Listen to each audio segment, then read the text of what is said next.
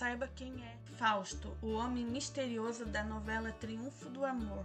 Mas antes do vídeo, te convido a se inscrever no canal e deixar aquele like para você receber em primeira mão todas as nossas notificações de novos vídeos.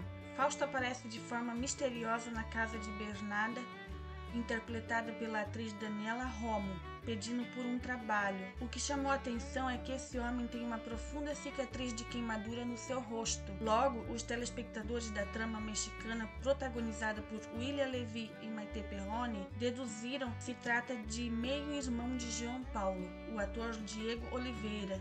Juan Carlos Franzoni, que interpreta Fausto, na qual é chamado, voltou para se vingar da senhora Bernarda pela morte de seus pais. A novela Triunfo do Amor é protagonizada por Maite Perrone, William Levy, Vitória Ruffo e Oswaldo Rios. A trama é um remarque de Cristal de 1985 e de O Privilégio de Amar de 1998, ambas exibidas pelo SBT aqui no Brasil. Então veja como está atualmente o ator Juan Carlos Franzoni, o Fausto da novela Triunfo do Amor.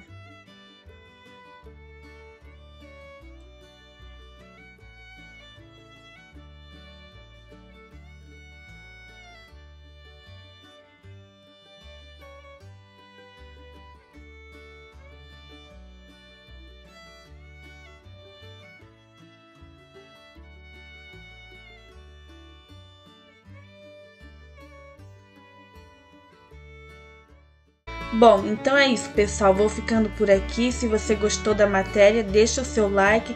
Confere se você já está inscrito no canal, com o sininho ativado. Ou se você é novo por aqui e gostou do conteúdo, se inscreva no canal e vem comigo nessa. Beijão e até o próximo vídeo.